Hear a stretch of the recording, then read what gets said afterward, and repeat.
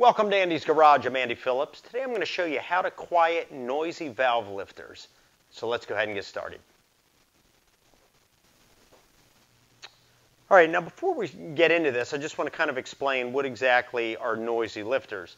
And it's very easy, just a quick description. It's that annoying ticking sound that you'll hear coming from under your hood when your vehicle is running, whether it's be um, you know, randomly or whether it be continuously, but it'll be that loud ticking noise. It's just very annoying.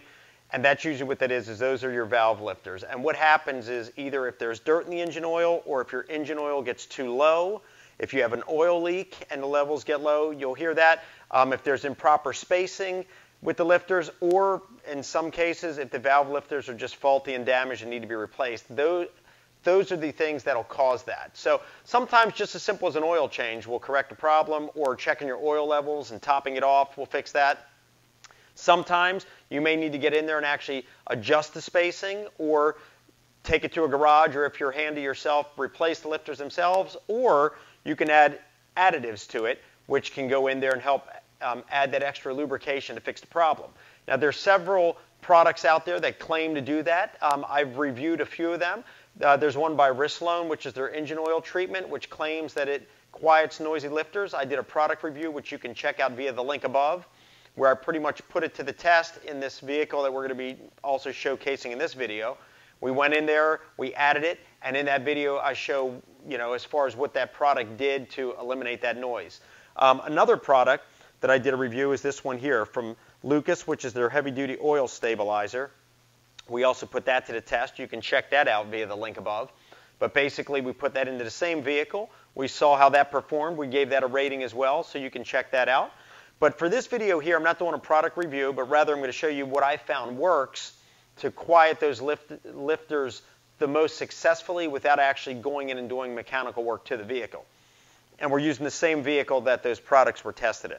So for this particular vehicle, what I'm going to be doing is combining these products here by Lucas because I found that combined they actually perform the best. I'm sure people will comment in with their opinions as far as whether they agree or disagree, and I would love to hear the feedback as far as what worked for you. Um, so what I'm going to be doing, I'm going to be combining the Lucas heavy duty oil stabilizer with the Lucas engine oil uh, stop leak. I also did a product review on that if you want to check that out via the link above where I kind of put that to the test and we saw how it really helped and if it helped with, with a, um, a leak. So the reason why I combine it with this one is because at least I found a lot of the times what gets you to that point where your where your lifters are having issues is because the engine oil levels went down due to a leak.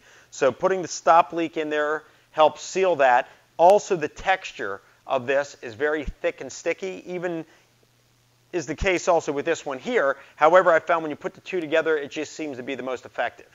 Now, for the oil stabilizer, they recommend putting as much as 60% of your engine oil capacity in.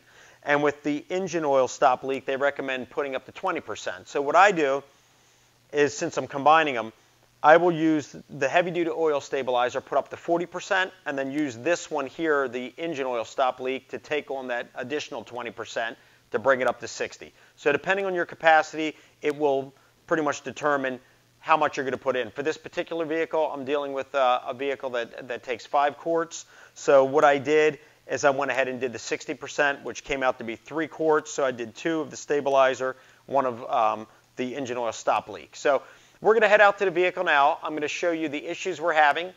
We're going to go ahead, add it to it, see how it performs, and then we'll be back to conclude this video. So let's head out there and do it.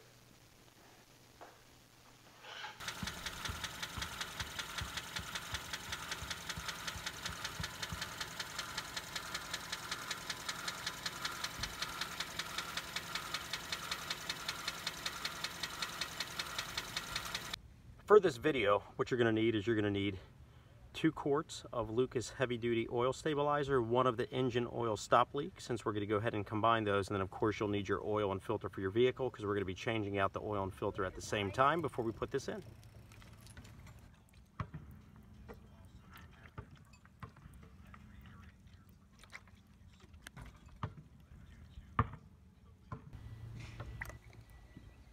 I'm going to start by adding the Lucas engine oil stop leak to this vehicle first. This particular vehicle did have an oil leak as well. So that's why we're putting that in. Plus it also incorporates some very thick and sticky fluids that will help kind of get onto those loose parts and stop that rattling noise in addition with the oil stabilizer. So we're going to go ahead and put this first quart of the Lucas stop leak in first. And then we'll follow it up with the two quarts of oil stabilizer before we top off the oil.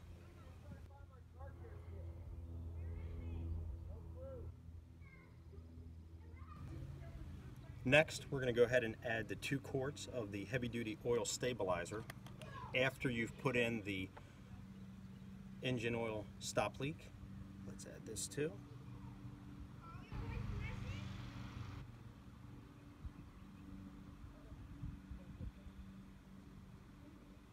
And keep in mind that you can add 60% of your oil capacity, you can use this oil stabilizer. We're only doing 40% because the other 20% we're using the stop leak because of it being a, a, a thicker, stickier substance to help put an end to the noisy valve lifters. Sometimes if you just use the oil stabilizer by itself, depending how bad of a uh, valve lifter issue you have, that's not enough to, to take care of it. It'll help it, but it won't take care of it 100%.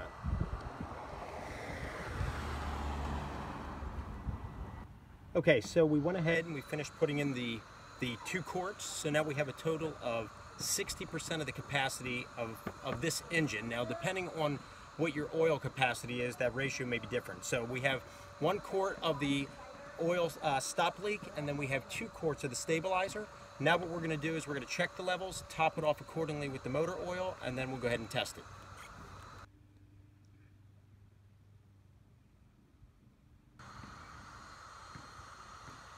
All right, so everything is topped off. I'm gonna go ahead and clean everything up. We're gonna go ahead and start it, try it out, and see if that took care of our noisy valve lifter issue.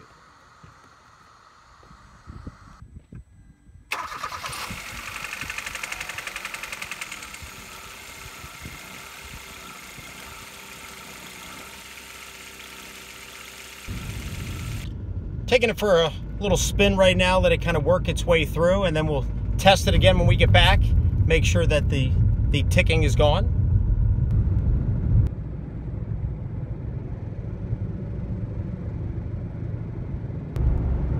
Okay, so we're taking it for a drive now, let it really kind of work its way in. What I'd like to do is get the RPMs high a little bit, really get things moving. I can already hear it quieting down what little bit of the tick was still left.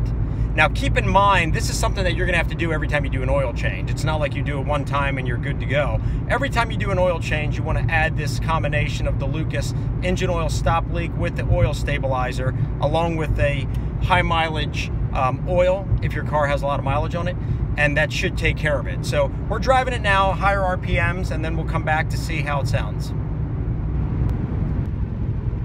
If you listen closely as I accelerate, you will hear a very, very, very faint, let's see if you can hear it, very faint muted tapping sound. But as soon as I let go of the acceleration, it's as quiet as a mouse. Definitely silenced these noisy lifters.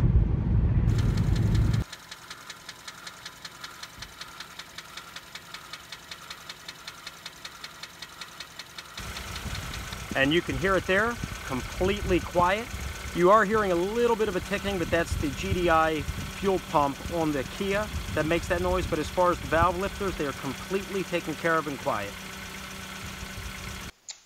Okay, well we just got back, and as we saw in that video, you could clearly see the difference before and after adding those additives to the engine. Um, as shown in the video, and as I mentioned already, didn't take care of it 100%, but it did take it down a lot to where that annoying ticking sound is virtually gone. I mean, if you accelerate, you'll hear very faintly, but once you lay the, uh, the um, stress off of the engine like that, you don't hardly hear anything.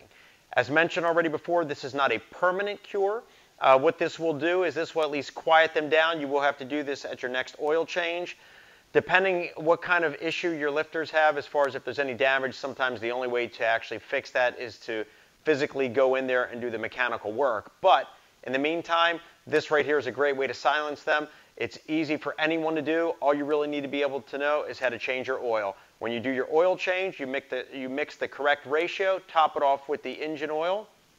After that, and that should quiet down your lifters very good. So please send me any comments or questions you may have. I do want to hear any feedback from any of you out there as far as if you've used this before or what maybe you used that has worked. Put some comments in there for the other viewers to see. That would be greatly appreciated. As always, I appreciate all of the support. Please like this video, subscribe to the channel. I'll see you next time.